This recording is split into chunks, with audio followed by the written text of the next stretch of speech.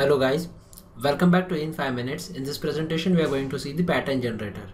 Now it is desirable in a particular application to have a particular bit patterns. Okay.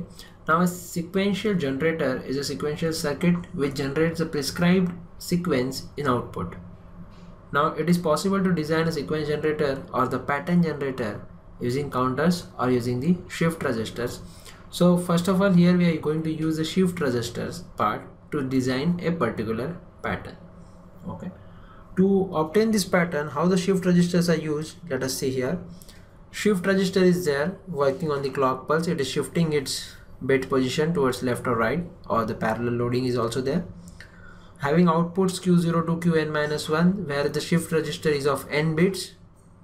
So 0 to n minus 1 is the total number of outputs and which is given to the next state decoder which will generate the sequence in a particular manner. So the output is fed back as a serial input to the shift register. So this is how the pattern generator works with the help of shift register. Now to understand the actual working we need to take an example. So what example I'm going to take here? The question is like this. Design a pattern generator to generate following pattern. And the pattern we have here is 10110 this is the pattern we need to generate.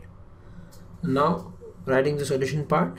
First of all you need to identify the number of bits present or the length of the sequence or the pattern is. The length of the pattern is 1 2 3 4 and 5 bits are there. So length of the pattern is 5 but here since L should be less than or equal to 2 raised to n minus 1 so depending on this formula the value of n will be equal to hence n will be equal to 3 here. So number of flip-flop or number of shift register required will be 3 so 3 bit shift registers will be requiring here. Okay. So for that let us design a truth table. So there will be flip-flop outputs. 3 bit shift register is required. Having 3 flip-flops. So flip-flop outputs. The first section is flip-flop outputs. That will be q2 q1 q0 and their decimal equivalents okay. Now as we all know that we have to generate a pattern which is 10110 so my pattern is 10110 so this pattern is shifted. So this one will be shifted in the second clock cycle. This one will shift it to this point.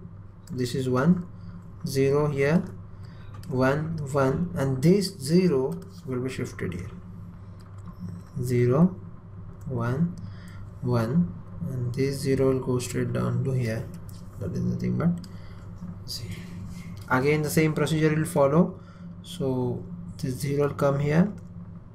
1 0 1 and 1 will be shifted so for these different states to generate this pattern so equivalent decimal equivalents are 101 that is nothing but state number 5 010 second. Again 5 again 6 and 3 but the problem is that you are getting two same states. Okay? This will not generate the particular pattern. This is the basic requirement that this pattern should not be repeated so decimal equivalent state number 5 is repeating itself in the very next or the very second clock cycle. So we need to add up the extra output of the flip-flop.